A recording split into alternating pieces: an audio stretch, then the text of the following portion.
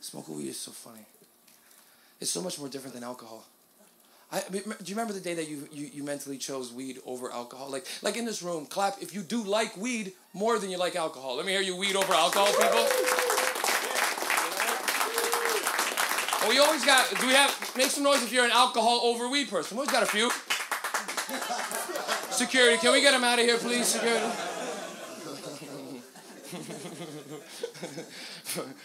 man, I want you guys to know, man. Like smoking weed is just nicer. It's just nicer, man.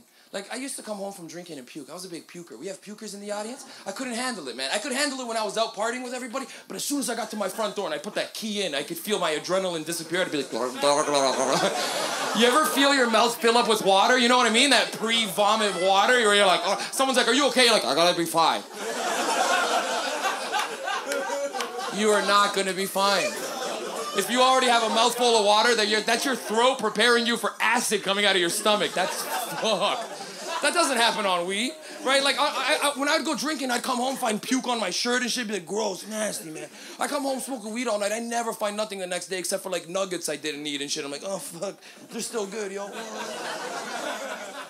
Weed's nice. You ever see someone after 10 beers? It's fucking gross. 10 beers, 10 shots or something, they're all fucked up. They want to fight you, fuck your girlfriend. You ever seen someone after 10 joints? Of course not. They're sleeping somewhere, man. Even if you make it to like eight joints, you say you're like, yo, these two are for tomorrow. Fuck.